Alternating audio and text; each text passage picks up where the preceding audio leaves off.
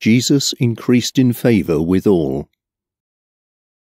Every year, Jesus' parents went to Jerusalem for Passover. And when Jesus was twelve years old, they all went there as usual for the celebration. After Passover, his parents left, but they didn't know that Jesus stayed on in the city. They thought he was travelling with some other people, and they went a whole day before they started looking for him. When they couldn't find him with their relatives and friends, they went back to Jerusalem and started looking for him there. Three days later, they found Jesus sitting in the temple, listening to the teachers and asking them questions.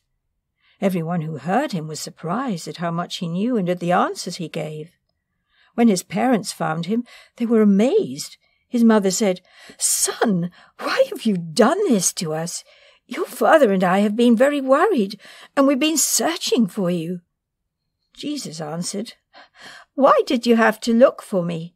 Didn't you know that I would be in my father's house? But they didn't understand what he meant. Jesus went back to Nazareth with his parents and obeyed them. His mother kept on thinking about all that had happened. Jesus became wise and he grew strong. God was pleased with him, and so were the people.